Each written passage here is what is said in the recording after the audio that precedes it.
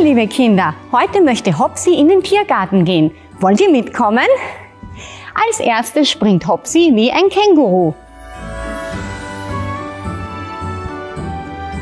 Jetzt möchte er mal wie ein gefährlicher Tiger springen.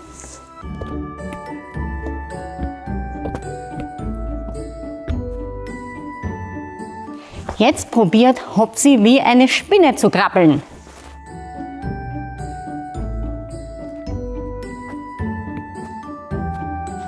Und jetzt läuft Hopsi wie ein ganz ein schnelles Zebra. Zum Abschluss möchte Hopsi noch probieren, im Krebsgang zu gehen.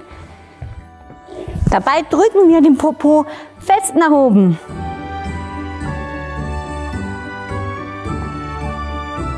Sehr gut hast du das gemacht. Jetzt darfst du bereits das zwölfte Kästchen ausmalen.